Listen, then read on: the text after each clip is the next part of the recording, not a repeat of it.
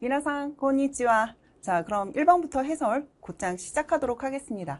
자, 1번은 늘 항상 가타카나 어이였었죠. 첫 번째는 화장실, 도이레였었고요. 그 다음에 휴대폰, 케타이였었습니다. 케타이를 혹시 모르셨다 하더라도 도이레, 너무 쉬운 어, 기본 어이였었죠. 게다가 가타카나를 조금 헷갈려 하시는 분들이 굉장히 많으신데 실은 아, 이, 우, 에, 오 첫 번째 줄에 있었던 이라는 글자를 여러분들이 정답으로 고르는 건 별로 어렵지 않으셨을 것 같아요. 아, 총평에서도 말씀드렸지만 늘 항상 이제는 장음의 유무 혹은 장음의 위치를 헷갈리게 되는 것이 아니라 두 개 정도 정말 많으면 세 개 정도의 어휘를 제시하고 거기에 들어갈 공통으로 들어갈 어, 글자 맞추기가 되겠습니다. 음, 굉장히 쉬웠던 1번이었어요. 그런데 늘 항상 다른 선택지에서는 비슷하게 생긴 글자들을 준다는 거. 따라서 여러분들이 어, 진짜 수능에서는 어, 조금 어, 6월, 9월 모의고사에서 쉬었으니까 조금 헷갈릴 수 있는 비슷한 글자들을 살짝 넣어주지 않을까라는 걸 염두하에 여러분들이 헷갈리는 글자들을 어, 외워주셨으면 좋겠어요. 가장 대표적인 것이 시, 츠였었죠. 시는 땡땡땡 올라갔고 츠는 땡땡땡 내려왔었습니다. 그래서 늘 항상 점선 있게 하세요. 점선 있게 하면 시, 츠가 됩니다. 라고 말씀드렸었죠. 우, 와, 그 다음에 후라는 글자도 조금 헷갈렸었죠.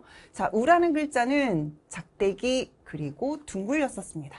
와는요, 요 부분만 살려주시면 되고요. 그 다음에 후라는 글자는 이렇게 기역자처럼 쓰는 글자였었죠.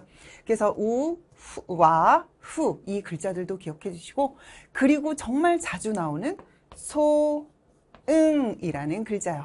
그렇죠. 점 찍고 내려오고 점 찍고 올라가는 어, 요 획을 잘 기억하시면서 어, 혹시 이 칠판에 방금 전에 썼던 이 글자들에서 나온다면 야호라고 외쳐주시면 좋겠네요.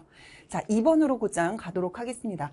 밑줄 친 부분의 표기가 옳은 것은 늘 항상 2번, 3번은 기본 어휘 그리고 필수 어휘를 성실하게 암기했는지 즉 스펠링을 제대로 많이 써보고 어, 외웠는지를 물어보게 되죠.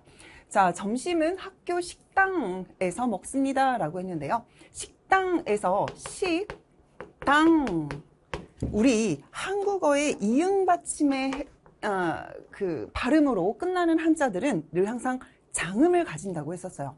우리 2번, 3번 같은 경우는 늘 항상 장음을 가지게 안 가지게 혹은 맨 앞에 있는 글자에 땡땡 붙게 안 붙게 이 두 가지가 포인트로 늘 항상 항상 여러분들한테 헷갈리게 하는 어휘들을 제시한다고 했기 때문에 때문에 여러분들이 2번, 3번만 그동안의 기출을 쭉 단어 정리만 하셔도 빈출됐던 어휘들이 계속 빈출되니까 정말 범위를 좁히실 수 있으실 거예요.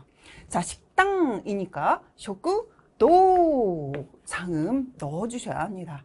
자, 두 번째 나는 매일 아침 牛乳を飲みます 그렇죠. 우유를 마십니다 라고 했는데 우유 정말 빈출 어입니다. 꼭 기억해 주세요. 앞에도 뒤에도 모두 장음을 가지고 있어요. ぎゅう, にゅう. 자, 3번. 지금 10시, 아이고, 죄송해요. 자, 비행기가 着きました. 도착했습니다. 인데요.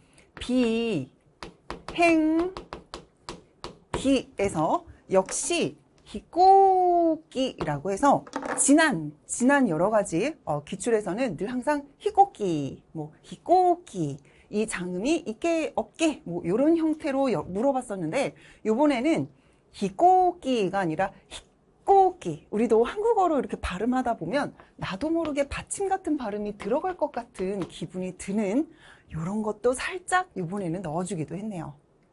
자, 4번 볼까요? 이 요리에 스크리카타 만드는 방법은 간단합니다.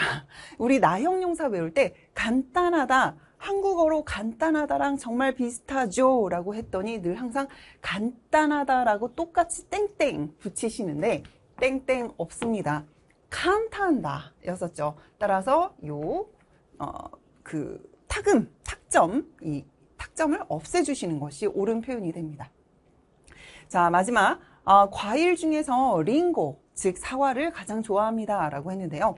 역시 쿠다모노죠. 그런데 어떠한 단어 맨 앞에 스펠링이 かきくけこ 혹은 다치치테토인 경우에 일본 사람들도 그리고 한국어 표기에서 한글 표기에서도 발음을 크, 트라고 강하게 하지 않고 크크크크크 드드드드드 이렇게 좀 약하게 발음하는 그런 현상을 우리가 자주 듣기 때문에 くだもの くだもの. 어? くだもの? ぐだもの. 뭐였을까? 아 그다모노인가? 라고 또 착각할 수가 있어요 맨 앞에 탁점이 있는지 없는지 요것들을 여러분들한테 살짝 헷갈리게 하는 그런 함정, 함정 문제들이 좀 자주 나오기도 합니다.